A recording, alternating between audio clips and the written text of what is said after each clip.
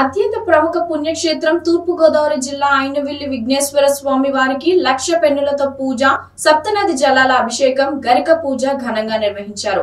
ఈ నెల పదిహేడవ తేదీన లక్ష పెన్నులతో స్వామి వారికి పూజలు నిర్వహించి అనంతరం ఆ పెన్నులను విద్యార్థులకు పంపిణీ చేయనున్నారు. పదిహేను సంవత్సరాలుగా ఈ పెన్నుల పూజ నిర్వహిస్తున్నామని ఈసారి కరోనా మహమ్మారితో ఆటంకాలు ఏర్పడినప్పటికీ వాటన్నింటినీ ఎదుర్కొని లక్ష పెన్నులు సమకూర్చి విద్యార్థులకు పంపిణీ చేయనున్నట్లు ఆలయ ఈవో తెలిపారు